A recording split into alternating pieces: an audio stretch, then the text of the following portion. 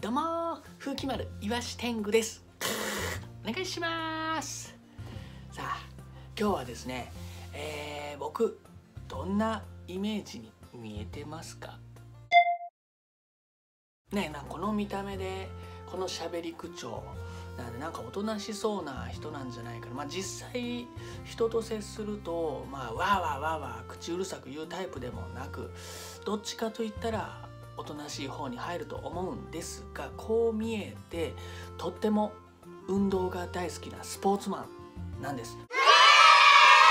過去にも学生時代には、えー、バレーボール卓球公式テニスサッカー水泳、えー、いろいろもう全部やってきましてで下手くそかっていうとそういうわけでもない、うん、なかなかいいプレーもしてきていました。えー、公式テニスに関してはもううまいということで上手やなということで、えー、高校時代部長もやっておりましたしバレーもね、えー、いろんな予選大会などなどで優勝もしてきましたしっていうのでスポーツはだいぶ得意なんですが、えー、それを今ここでどうやってお見せしようかなと思ったら、え、過去の動画が残っておりました。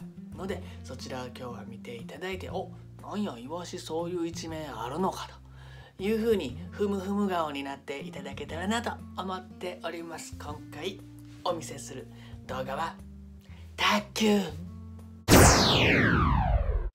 ではご覧ください。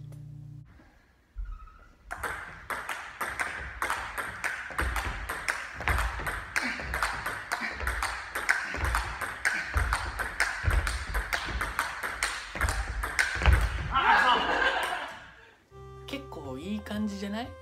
ね。あんだけラリーが続くっていうのはやっぱり経験者じゃないとあれぐらいのスピードであのラリーできないので、まあ、多少ちょっとへっぴり腰ではありましたが あれはプランクのせいですよ。もう現役時代はあんなへっぴり腰ではございません。卓球もねだから得意なスポーツのうちの一つですね。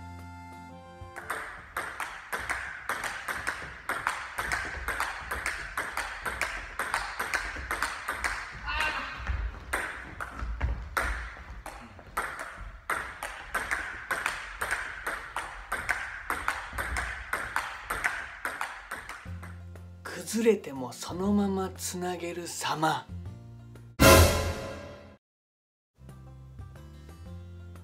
ああいうのなんかかっこよさありますよね。うわちょっとミスったかなって思ったんだけど相手がカバーしてもうそのままやっちゃう。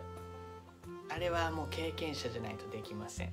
並大抵の1日2日の卓球少年にはできません。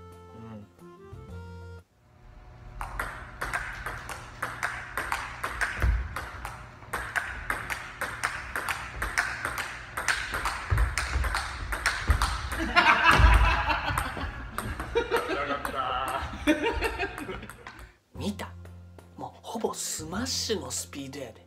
あんなのにテレビでよう見るわ。プロのなんか大会で。すごない。岩瀬やで。あれ。中日ドラゴンズのユニフォーム。着てたやつが岩瀬やで。すごない。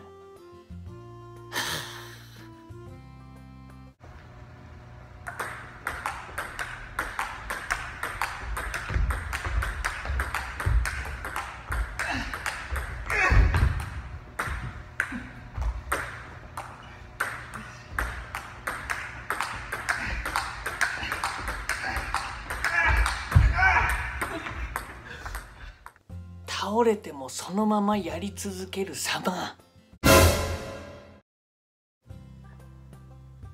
ああほらあーってなるよ、とにかく楽しかったなーっていうのは覚えてますね。あの時は。そうそうそう。アッパーカットのゆうたくん。と一緒に、えーまあ家がね家がというか住んでる地域が近いっていうのがあってちょっと卓球やろうぜっていうのをやりましたけどまああれからもう卓球しばらくやってないかな。うん。やりたいな。もう勝ち負けじゃないんですけどね。気持ちの良さ。卓球ってそういうとこがあるんでこう返すラリーが続く気持ちの良さ。そういうのもありますからちょっと。あー久々。久々。久々にやりたくなってきたな。もうぜひちょっと気軽にできるスポーツだと思いますんで。私卓球ちょっとやってみたいよ。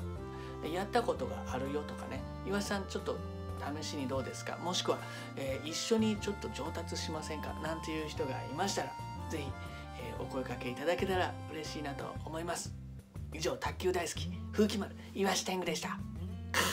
ありがとうございました。